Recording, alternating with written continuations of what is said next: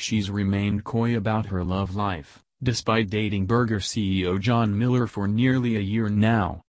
And Jennifer Garner was once again happy in solo, as she stepped out in Studio City, California.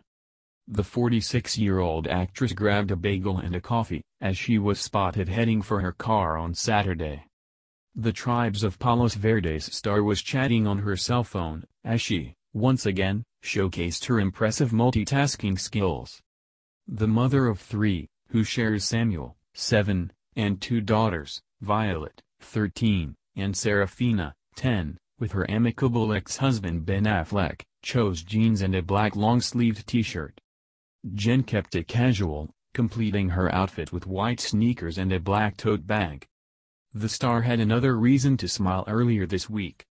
The Alias alum took to Instagram to post a video which celebrated a new milestone for the Once Upon a Farm baby food line that she co-founded. She captioned the video, Today we are announcing that at Once Upon a Farm has been WIC approved in Florida and my home state of West Virginia feeding nearly 125,000 babies born into poverty.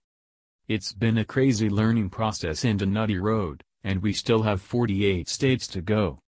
But it's a huge step and something that makes me very happy and proud. XX, Jen. She married Ben Affleck in June 2005 and they finalized their divorce last November, nearly three years after separating. The beauty has remained a positive figure in his life, even staging an intervention in August to help Ben into rehab following a challenging summer where he ended his relationship with Lindsay Shookus before sparking a fling with model Shauna Sexton. Ben has now started dating ex-Lindsay Shookus again. During the recent Today Show interview, Hoda Kotb told Ben it was clear that you still love Jennifer, and he replied, of course, she's wonderful.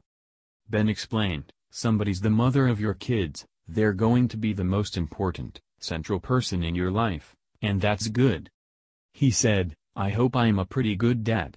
I certainly try very hard.